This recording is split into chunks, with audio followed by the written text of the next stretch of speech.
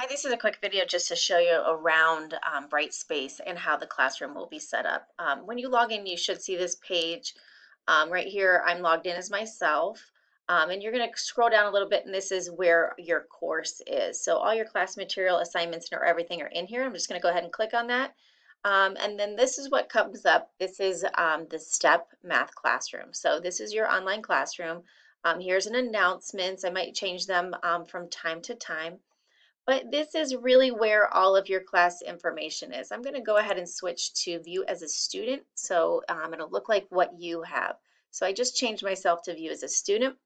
Um, you can click to course home to get to this page at any time. Um, the best way to see the content is click on this course materials and just click on content. When you click on content, you will see everything that is due. Um, you can see the folders, um, table of contents, we're not really going to use bookmarks. Um, the course schedule, you can see what's coming up. Um, the, I'm recording this on the 23rd, so tomorrow on the 24th, here's some things that are due.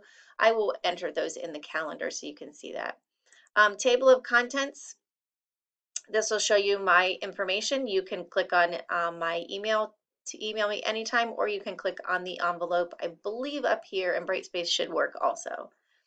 Um, the course information, um, this is my information um, that I just showed you, so my email and the assignments, everything is in here. So I put them into five different weekly assignments.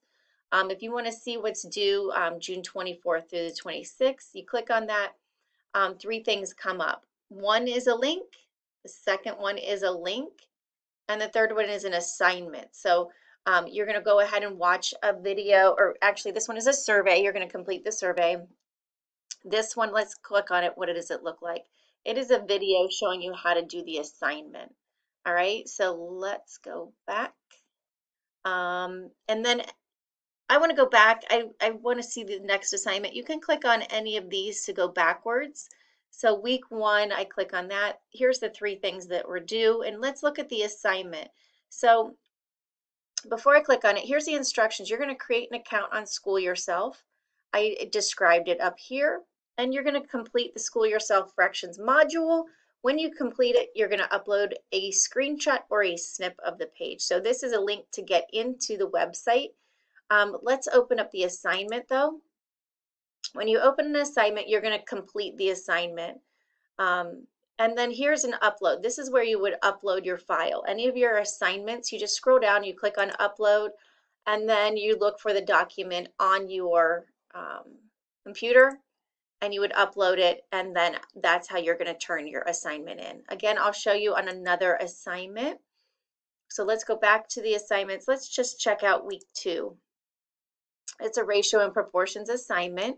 This is the link to get into the lesson, but this is the actual assignment.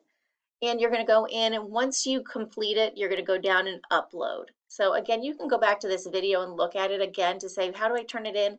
Or at any time you can come to the live class um, Monday and Tuesday at 10 or office hours on Friday at 10 and you can come and ask questions. So just move yourself around in the classroom a little bit. Um, and check it out. And um, if you have questions, we will be starting, we, like I said, at um, live class Monday, Tuesday, and Friday at 10. Um, I think I put in the Google Meet. You you should have had an a, um, an invitation. So again, just mess around. You're going to see week one, two, three, four, five, and six, or four and five. All the assignments will be in there. You can move ahead if you want to um, but they're kind of paced so you have enough work to work um, through one week.